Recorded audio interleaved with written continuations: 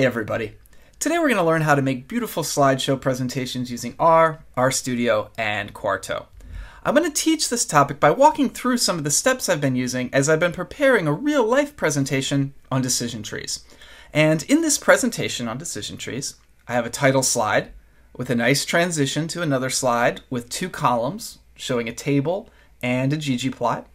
Notice I've got a nice background here and a footer down at the bottom on the next slide, I have a call out box about decision trees, and then a pause and an included image that's centered appropriately and sized nicely.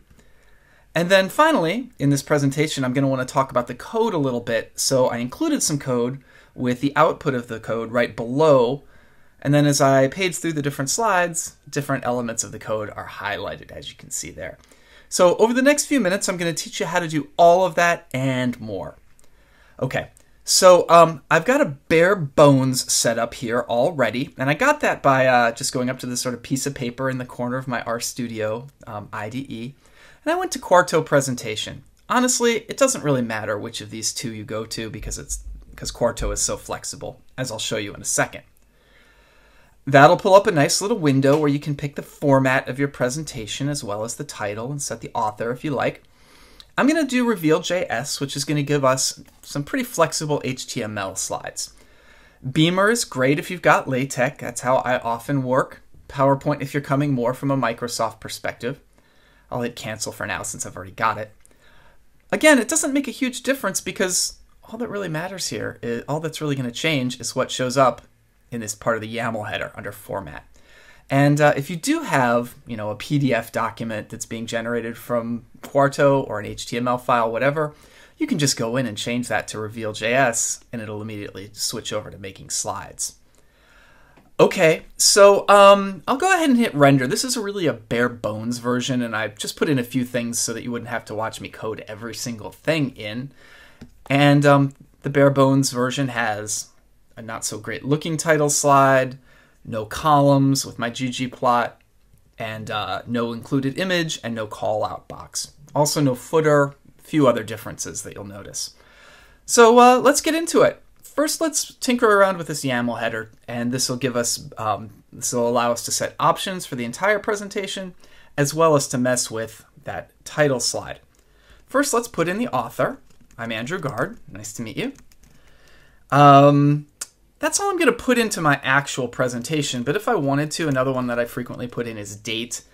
And um, Quarto's pretty forgiving in terms of how you put in the date. So for instance, you know, it might be, uh, I don't know, 25 February 2025. That's pretty far in my future as I record this. Um, just for instance, I'll leave that out. Let's see here. The, um, the other thing I want to do right at the start is to get that footer in here. So after format reveal JS, I'm going to start putting in some other options. I want a footer. And I want, how about the name of my channel? Equitable Equations. And uh, it's Decision Trees is going to be the name of this presentation. The typos have begun already. I think I need quotes around this. Um, otherwise, that colon is going to confuse Quarto and make it unhappy. So let's render and make sure those two things worked out properly. You see the footer down at the bottom, you see my name in there. That's great. Notice the way this worked. Format colon, then um, uh, a new line and a tab, then the format, colon, new line and a tab, and then the footer option refers specifically to the Reveal.js format. If I wanted to have a different format as well, I would de-indent is that a word, de-indent? Okay. Let me show you how to do one other thing here. Maybe two other things, but let's start with a logo. So in some of my vids where I have slideshows that I've made using Beamer, I have my face down at the lower right-hand corner, and so I can do that in Quarto as well. So it's face.png in this case, and if I hit render, really creatively named, um, creative name for my file with my face in it, I know. But uh, there it is. You can see my face there, really small in the lower right. I'm going to take it out because um, in my nicer version, I have this background image, and I decided that my face doesn't look so great on top of that. It, uh, it ends up being too noisy. So I'll take that out. I think one other thing I want to show um, and then take out again from my YAML header is theme. So the default theme is maximizing um, accessibility. It's pretty basic. It looks nice, I think, but um, there's lots of other choices. So there's a dark theme, for instance. Let's go ahead and see what that looks like. There we go. You know, love it, hate it, it's up to you. Here, this is maybe not the best because the ggplot theme that I'm using has an all-white panel background, so, you know, it's a little bit, uh, little bit clunky, I think. I'm going to take that out. There's lots of different themes. You can Google Quarto themes to, to see a full list of that. The other thing I do want to do and leave in is to put in a, uh, a transition. And so I want transition. and I want to strike a balance between just sort of clicking from one side slide to the next, which is really rough, and um, at the other extreme, doing something that might be too distracting. And there are two that I tend to use. The first one is fade. I'll show that. The name kind of uh, says it all in this case. You can see how it just sort of uh, fades from one to the next. The one I've chosen for this presentation is slide, so it will literally slide from uh, one side to the next and kind of wipe out from one slide to the next. Okay, so uh, so that looks pretty good. Let's get into some of the actual code now, some of the actual document, moving on from the YAML header. Oh, I think one other thing I do want to say is um, if I hit, if I go to a new line and do control space, I will get an entire list of the uh, available options. And this is kind of nice if I uh, forget exactly what I want to do or if I'm just tinkering around. Okay, so the first thing that I did in this document, um, in this presentation that I'm working on, is just to do some setup type stuff library tidyverse, GT, which I'm going to use to do a table in a minute, and then I'm going to read in some data using readxl and set my theme to minimal. So that's lovely. Notice that in my document, none of that's included. So when you're doing reveal.js, by default, um, the code is not being echoed. You're only getting the output of the code, as you see with this ggplot, as I'll talk about in a little bit. So um, we can change that. We can set an option with a hash and then a vertical bar. Sometimes that's read hash pipe by um, uh, some of the posit people I've heard from. So um, I'm going to want to set my echo option just for demonstration purposes to true. If I would like to also see the output of that, I could also do message because uh, it's not actually an output, it's just sort of letting the user know that the packages are being loaded. Let's just demonstrate that. And while I'm at it, let's also put in a label on this chunk as my setup chunk. And I'll render that. So this won't look as good, but it's, uh, again, for demonstration purposes. So there it is. Not the best. You know, I'll go ahead and take all that out. One thing I do kind of miss about R Markdown is um, that when you go to start a new R Markdown document, there's a setup chunk by default that sets some options for you and uh, and gives you some space to do this kind of thing.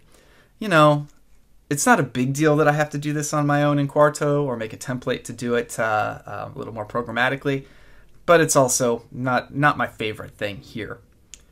Okay, so um, now let's get into an actual slide. To officially start a slide, you do this double hash. So double hash in this vid and then a plot, and then I have another double hash here with the title of the slide, decision trees. So let's go ahead and look at that now that we uh, know the know that element of it. So new slide in this vid with the ggplot, new slide with the title, decision trees with a little bit of content there. Okay, great. I think I want to put in a background next. So after these double hashes, you can set attributes for your entire slide with these braces. And what I want is background dash image and then an equal sign, and then I have to say the actual name of the file. So it's background.jpg in this case. That should do it. Background, duh, not g. There we go. Try that again. And there you can see I've got this lovely little background. Now, that's some clip art that I just found from the internet a long time ago. I'm sorry I don't have a source on that. If you uh, if you happen to know where I might have found that, please shoot me an email. I'd love to I'd love to know that. Now, notice that only applied to the one slide. Quarto is supposed to be maximizing your flexibility here, letting you put in different backgrounds on all of them.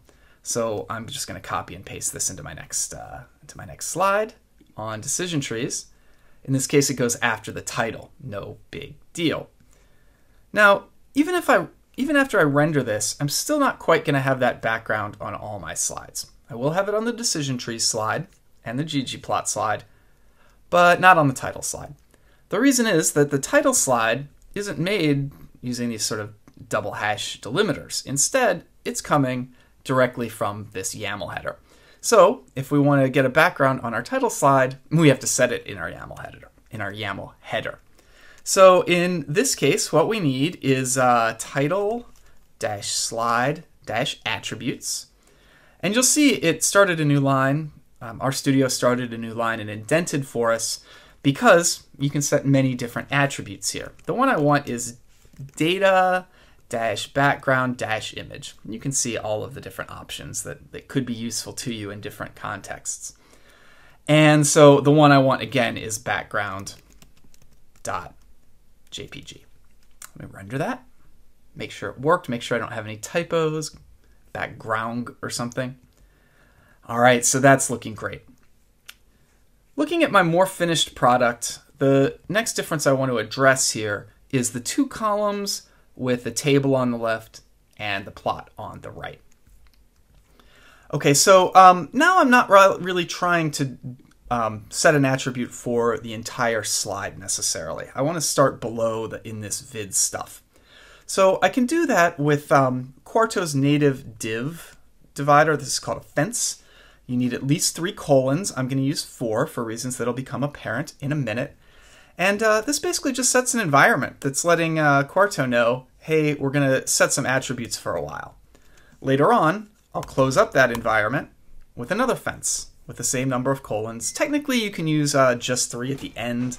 I recommend always using the same number when you close it up just for legibility and clarity.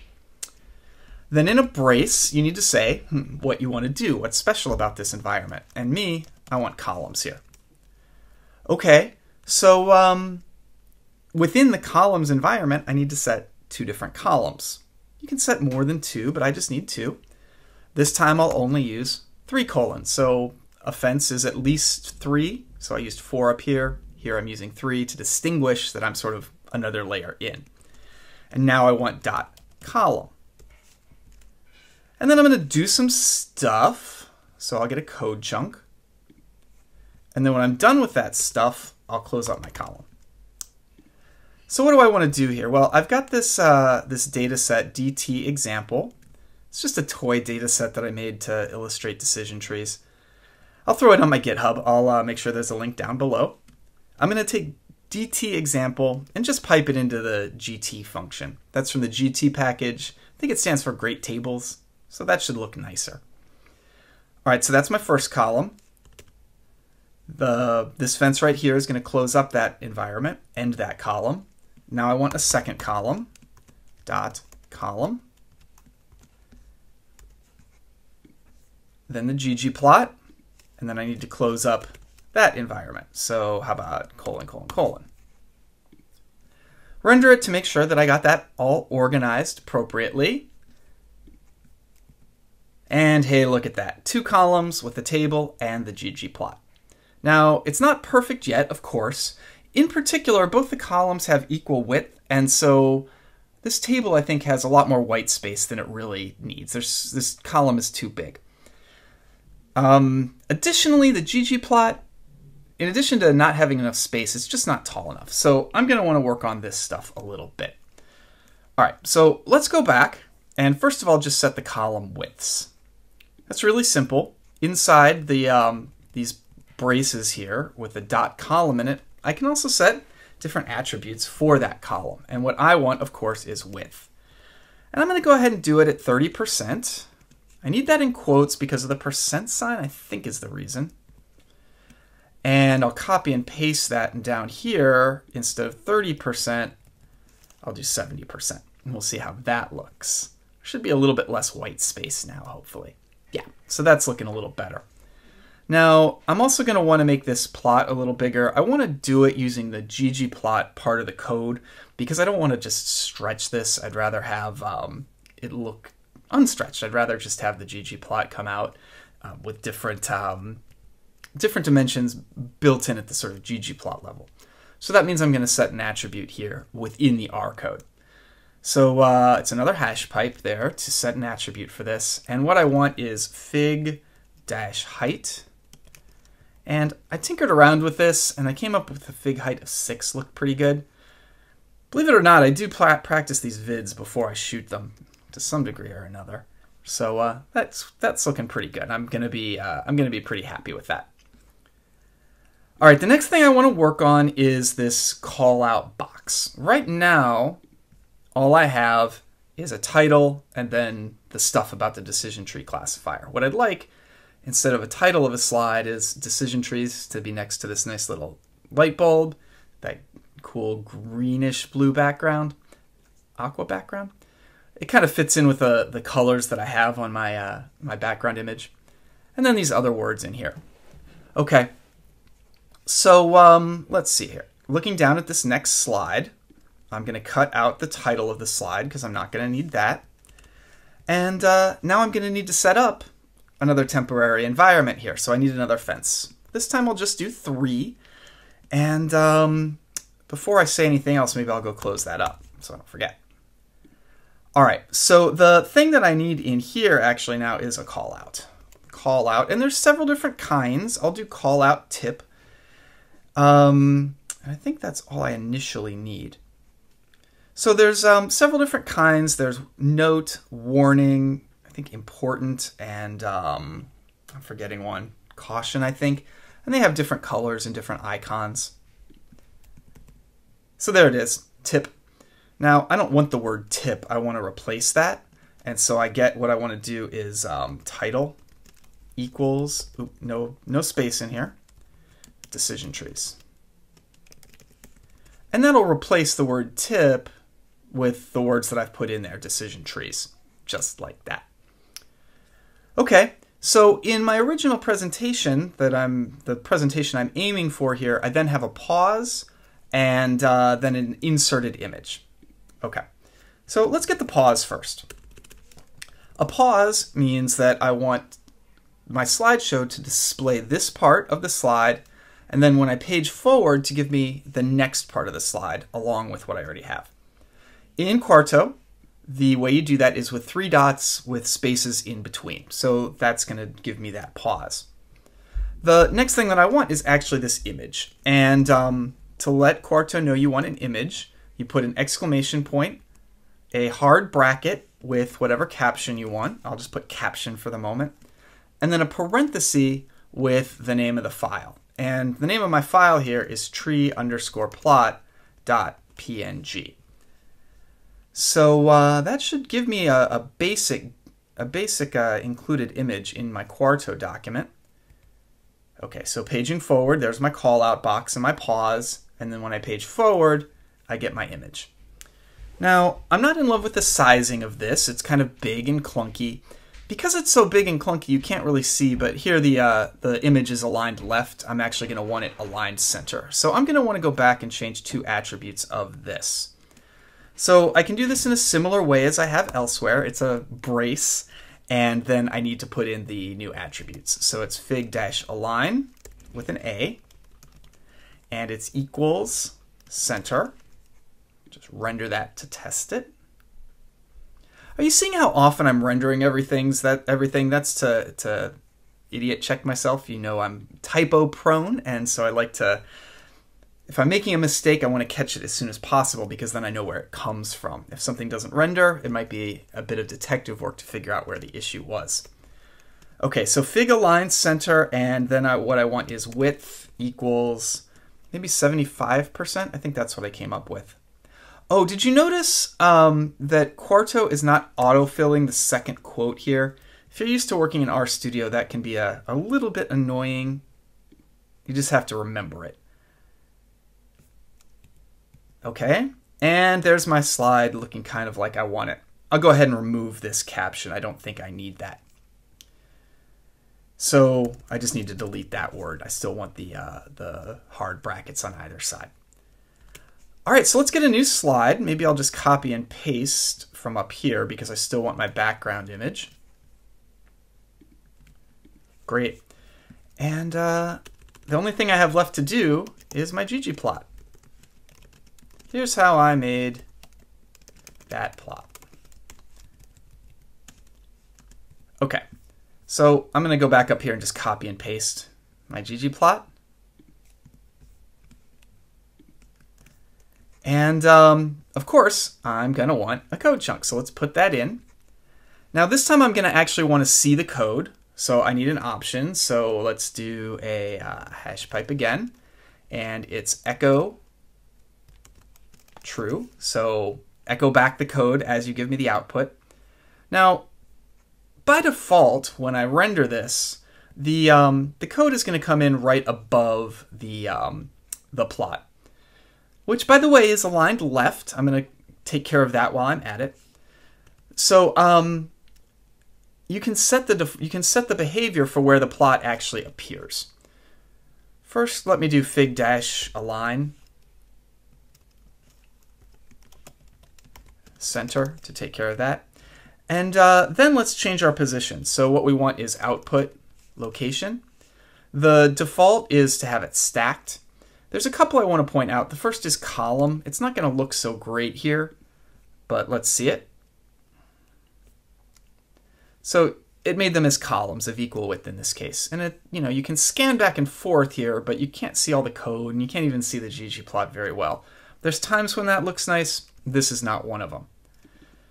Fragment um, is another one. This will give me a pause in there. So here's the code, then here's the plot when I page forward. And um, another one I'll point out is slide.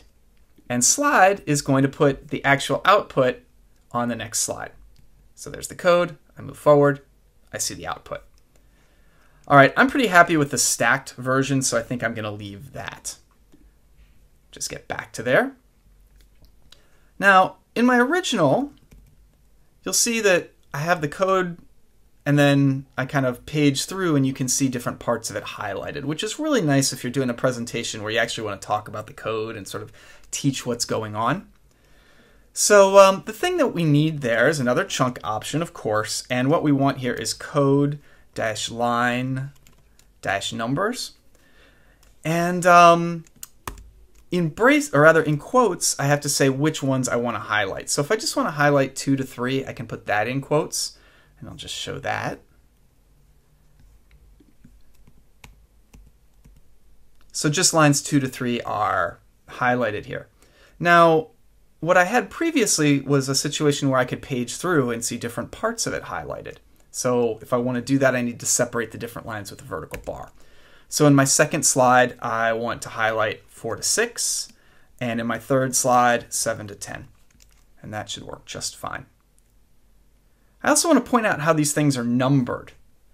So the numbering started from the using the lines of code here, not the things that are on the left in your, um, your RStudio IDE. So the first line, line number one, according to code dash line dash numbers, is actually the first line of code that actually shows up here. Now, there's one other small thing here that's different between this and my original presentation, and that is in my original presentation, I started with everything highlighted. So I can take care of that just by putting a vertical bar at the very beginning, and now when I render it, everything will be highlighted just like I like. By the way, there's nothing that says that all of these uh, these intervals, 2 to 3, 4 to 6, 7 to 10, have to be disjoint. I could have done 2 to 5, and then 2 to 6, and 2 to 7 if I liked. All right, checking my work one last time. I page into the slide that has my ggplot. All the code is highlighted. Paging forward, just 2 and 3, then 4, oh, 4 to 6. I actually want 4 to 5. Let's fix that really quickly as we wrap up.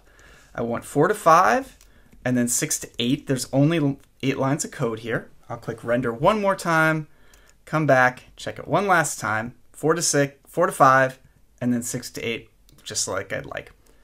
Okay, so that should be enough to get you started making a beautiful slideshow presentation using R, RStudio, and Quarto.